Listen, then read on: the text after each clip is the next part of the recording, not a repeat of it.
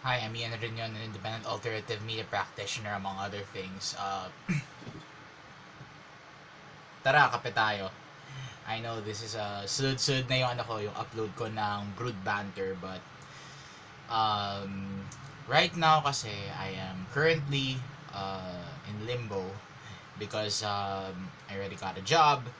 Kaya lang hindi ko pa alam kung kailan ako magsisimula. I have to sort out the requirements and all that. And uh, uh, on top of that, I had to uh, go to my partner's place kasi uh, parang birthday party nila and uh, uh, and other personal stuff. Anyway, I'm back here in Intrepid HQ after a few days. After a few days of, uh, or after a weekend of uh, uh, doing a lot of stuff. And uh, yun nga. Uh, I never knew na ano, na pasukan na. So, uh, we all know that uh, August 15 is the official start of classes. Pero more on the registration side. Ang pinakaunang araw ng klase eh ngayon. August 22, 2022. Now, mga kababayan, I am very, not really disappointed, but I'm very, uh, I'm just sad that uh, right off the bat, I would no longer be teaching for a living, lalong-lalo na sa mga educa- sa mga higher educational institutions or HEIs because uh,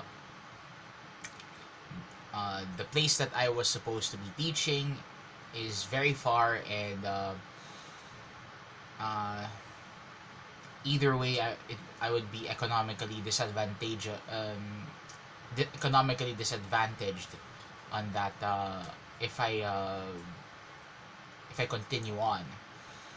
As much as it as much as it, as it pains me to uh, to very much uh, you know very much uh, not uh, hindi ko maalala sabihin ko. As much as I am uh, would love to continue uh, circumstances uh, per, um, proved otherwise. So eto balik sa ano balik sa corporate world. But hey but hey a job is a job. You need to pay the bills and all that. This is the you know this is the hard side of adulting in the Philippines. Pagkatapos mo magtrabaho or even before you uh, get a job uh, sasaba ka agad sa ano, sa malupit na mundo. And pasensyahan nyo na kung uh, mag ping ping ping yung ano yung messenger. I haven't silent and nag, hindi ko sinilent tong ano etong uh, phone na ni-record ko.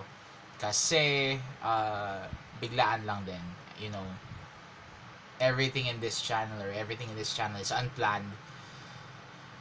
But to get back to the point to get back to the point of this uh, of this uh, brood banter it seems that we're just not that ready for face-to-face classes just yet. Kasi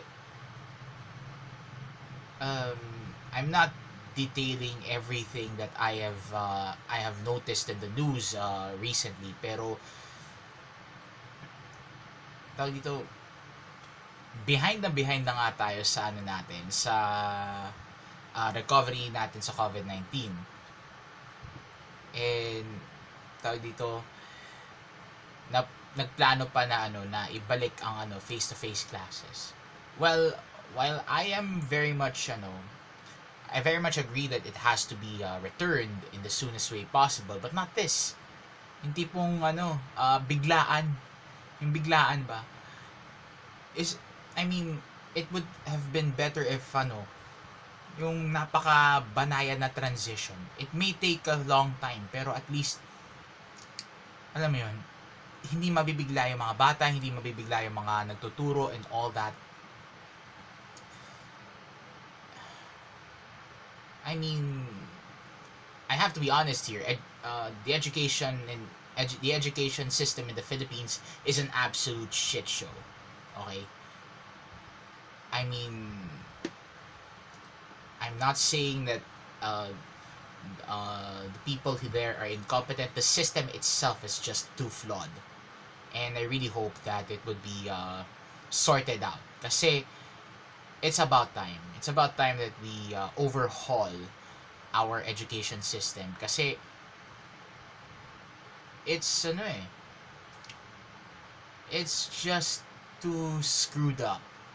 Talagang uh, pati yung mga tao na katulad ko na gusto ko magturo even though I've not been uh, I don't have a master's degree for that thing eh um, madidisadvantage kami 'di ba it's really ano it's really so um, it's really so flawed.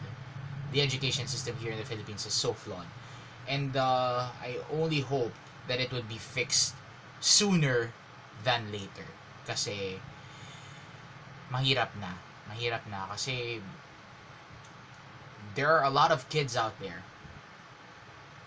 They all have dreams and uh, they they they dream uh, bigger things than than what than I did when I was still in high school. Of course may mga pangarap din ako sa buhay pero syempre di ko alam kung ma ano yun kung ma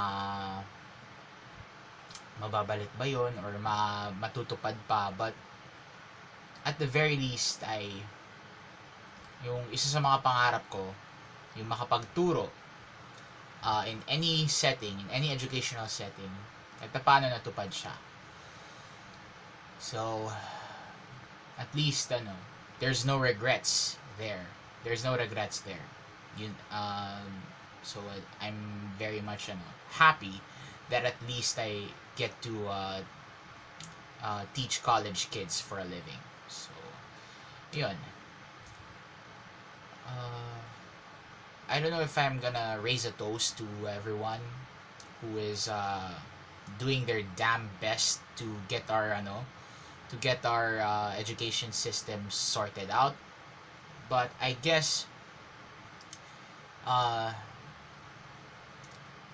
this one's for them this one if you're someone in the education in the Philippine education system and you're very much uh, doing your damn best to be a good teacher, a good educator, a good uh, professor, or or a good student actually even uh, for uh, for all of this. Uh, this one's for you. Cheers.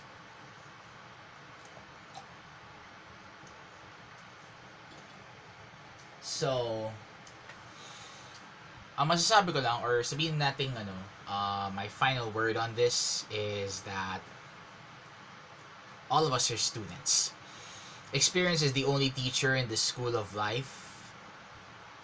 And um, all of this is all of what we have right now is our classroom. All of us are students. The the older ones are the more experienced ones but it always depends on the uh, in the context and in the circumstances that uh, each individual uh, lives out their lives. So, bago pa mag-ping tong ano na to, itong uh, cellphone na to dahil marami din akong nasalihan ng mga cycling groups. uh, dahil nga nagbibisikleta na ako. I would cut this uh, video short. So, with all that said, this is Intrepid Ian Drinion reminding you to, at all times, be the salt of the earth and the light of the world. Until then, look alive, stay alive, be kind to yourself and each other, and make sure to always think that you would you would be a student for the rest of your life.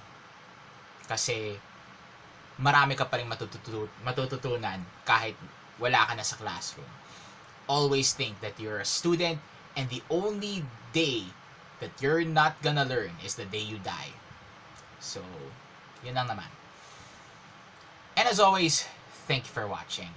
Until then, see you next time. From Intrepid HQ, Ian out.